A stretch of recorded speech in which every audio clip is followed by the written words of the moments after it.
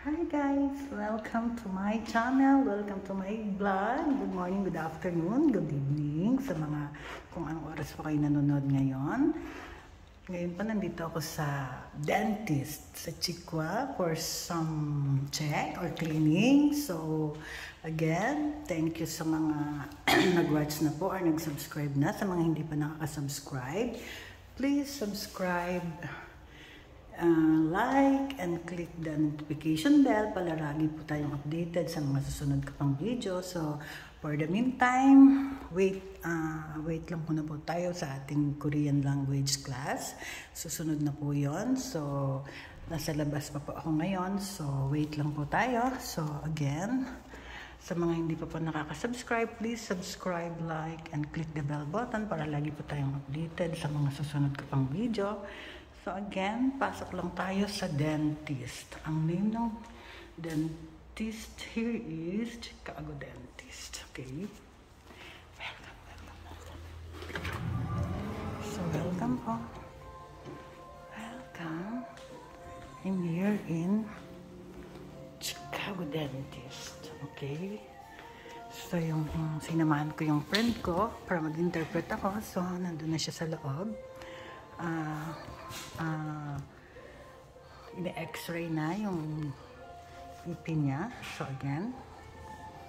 Okay, guys. Again, again, again. Welcome, welcome, welcome. At sa mga hindi pa po nakaka-subscribe, please subscribe, like, and click the notification bell para lagi po tayong updated sa mga susunod ko pang video.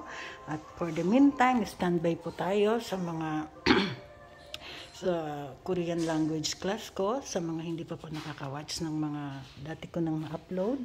Meron po tayong series of class ng Korean language. So, abang uh, panoorin nyo lang po at um, susunod na po natin ang grammar, Korean grammar, phrases at iba pa po.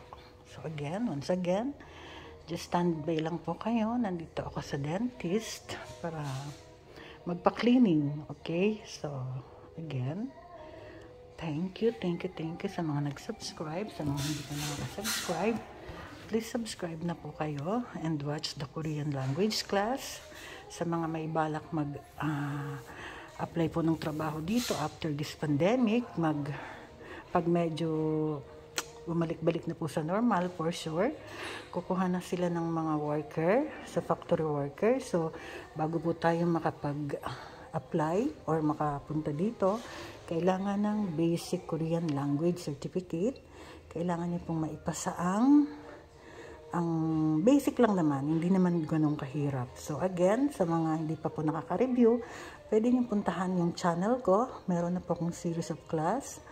Lab, uh, I think um, lesson 1 to 19 or 1 to 18. Nag-start pa ako sa basic, sa mga sa mga uh, ano ba yan um, um, alphabet then yung step by step po alphabet tapos yung mga patinig katinig vowel and consonant. So so makatulong po ito sa inyo for free. Makakapag-review po kayo po unti-unti okay so check nyo lang po ang ang Korean class ko nandiyan na na-upload ko na po leb, uh, lesson 1 to 90 na po yon So, meron na rin pong iba-ibang phrases, sentence, and yun nga, nag-start po ako sa alphabet, sa pagbuo ng words, paano ba isulat ang Korean, Korean words, paano bumuo ng words. So, nandun na po lahat. So, again, uh, just check nyo lang po at mm, meron na po tayo dyan. So,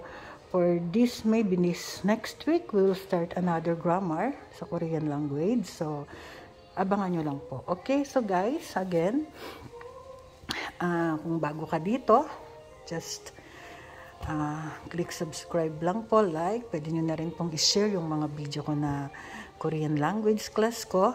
At uh, one more, one week more at mag-start na po ako ng grammar. So again, again, sa mga hindi po po nakaka-subscribe, please subscribe, like, and click the bell button para lagi po tayong updated sa mga susunod ko pang video ng mga Korean class. So again, inuulit ko lang po sa mga may balak mag-apply ng trabaho dito. Ito po ay, ay good for you na makapag-review kayo ng Korean language dahil ito po ay requirements at pwede rin po kayong mag-aral dyan dahil sa totoo lang po, mahirap mag-work dito kung malaki nga ang sahod pero mahirap din po yung communication kaya pwede nyo pong i-review yung aking mga yung konting language ng basic language lang naman po yan, basic Korean language pero for sure marami din po kayong matututunan like spelling tsaka yung mga simple greetings so again Guys, so again, again, again. So, stop ko muna to kasi I need to check. Try ko lang po kung kapag pa-cleaning ako. Actually, sinamahan ko lang po yung friend ko dito para mag-interpret ako. Pero, try ko po kung makapagpa-cleaning din ako kahit walang reservation. Okay, so bye! Guys, bye-bye muna for the meantime. Abangan nyo po yung aking Korean language class. Okay, grammar and mga yung everyday use na words, conversation. Okay, so for the meantime, guys, bye-bye. See you later. Okay, see you on my Korean class later. Bye! Please subscribe, like, and click the bell button para lagi po tayong updated sa mga susunod ko pang video. Okay, thank you guys. Bye for the meantime.